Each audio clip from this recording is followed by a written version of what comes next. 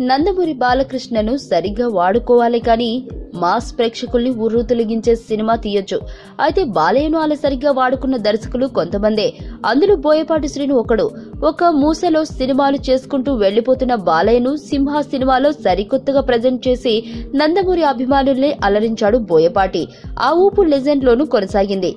ఇక గౌతమిపుత్ర సాధకర్ణి అన్నది ప్రత్యేకమైన సినిమా. దాని సంగతి పక్కన పెట్టేద్దాం. అయితే ఇప్పుడు బాలయ్య నూట ఒకటవ సినిమాకు దర్శకత్వం వహించనున్న పూరి జగన్నాథ్ నందమూరి హీరోలను ఎలా ప్రజెంట్ చేస్తాడా అని అందరూ ఆసక్తిగా ఎదురు చూస్తున్నారు ఏ హీరోకైనా సరే పూరి తనదైన టచ్ ఇస్తాడు. హీరోలోని కొత్త కోణాన్ని బయటికి తీసుకొస్తాడు. నిజం సినిమా ఎలా ఆడినప్పటికీ కళ్యాణ్ రామ్ను పూరి చూపించిన విధానం చాలా కొత్తగా అనిపించింది. అలాగే బాలయ్యను కూడా ప్రజెంట్ చేయడానికి స్కెచ్ వేశాడట పూరి.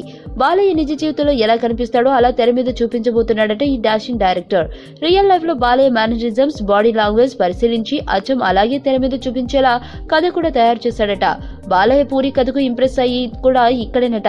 సినిమా ఎలా ఉన్నప్పటికీ నందమూరి అభిమానులు మాత్రం బాలయ్యను చూసి థ్రిల్ అయ్యేలా వారిని విశేషంగా అలరించేలా ఈ సినిమా ఉంటుందని చిత్ర యూనిట్ వర్గాలు చెబుతున్నాయి.